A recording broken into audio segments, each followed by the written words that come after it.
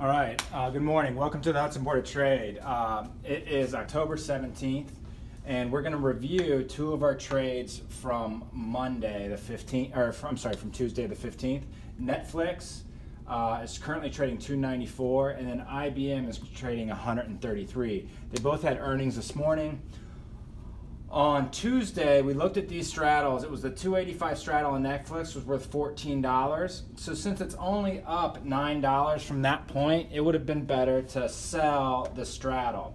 Now this comes with a caveat because when they had the, the earnings announcement yesterday after the close, the stock was up as much as $24. So on a four, when we got paid $14 if we sold this straddle, we would have been down $10. 24 less 14 is 10 and that would have been a hard loss to take without adjusting. So, but as it sits right now at 10 a.m., if we would have sold this straddle on Tuesday and done nothing, we would be up right now. Um, so nine dollars less 14 would be we'd be up five dollars right now. And then also on IBM, we did the 136 strike on the straddle, and that was worth six six dollars and fifty cents on uh, Tuesday and right now the stock is trading 133 so since that's only a $3 move it would have been better to sell the straddle. So we have earnings tomorrow.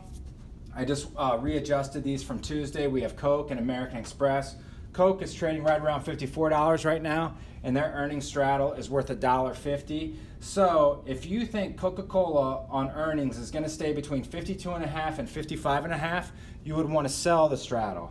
If you think Coke might move outside of this range, below 52 and and above 55 and a half, you would want to buy the straddle. Uh, American Express, I did make a mistake, I think, on uh, Tuesday with the stock price. It's trading 118, and that straddle is worth $3.50. So if you think American Express is going to stay within this range, 14 and a half on the downside and 121 and a half on the upside, you would want to sell the straddle.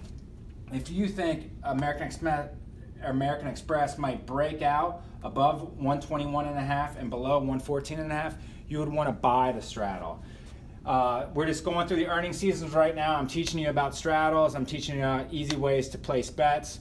If you want to learn how to trade like this, or um, please watch my videos, thumbs up, uh, give me any comments that you have, and think of being a member of the Hudson Board of Trade. Appreciate it.